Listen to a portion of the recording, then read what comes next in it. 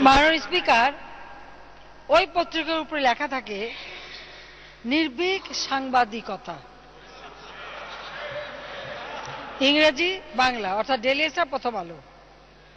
নামগুলি সুন্দর। একেবারে ডেলি স্টার মানে আকাশে তারা, দিনের বেলাও দেখা যায়। আর একটা হলো প্রথম আলো মানে আলু ফুটেই বেরোয় আর তাদের কাজ হলো অন্ধকারের কাজ। অন্ধকারের কাজটা কি? ডিজিএফআই লেখা ছাপানো। আমার প্রশ্ন এখানে।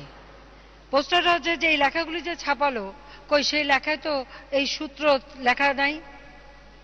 মানুষ তথ্য যদি পায়, তো একটা সূত্র লিখে দেয় যে, এই সূত্র থেকে আমি তথ্য পেয়েছি।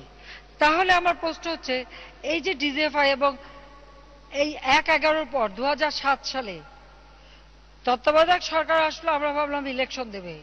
তারপরে ওমা সেই ইলেকশন আর না, তারা পার্মানেন্টলি ক্ষমতায় গেড়ে বসার একটা ষড়যন্ত্র। তাদের সাথে কি এমন সক্ষতা ওই এডিটরের ছিল, আমি সেটাই প্রশ্ন করি। এদের চেষ্টাই হলো সবসময় বাংলাদেশে একটা অস্বাভাবিক পরিস্থিতি যেন সৃষ্টি হয়।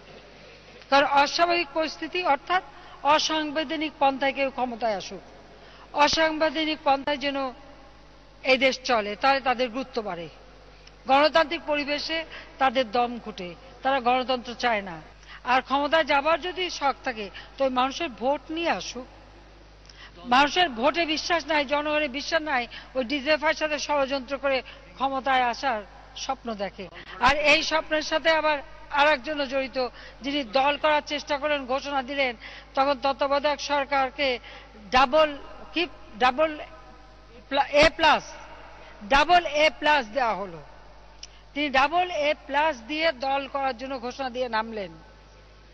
আর তার দেওয়া তালিকা নিয়ে এই একজন সম্পাদক নেমে পড়ল দলের লোক গোছাতে।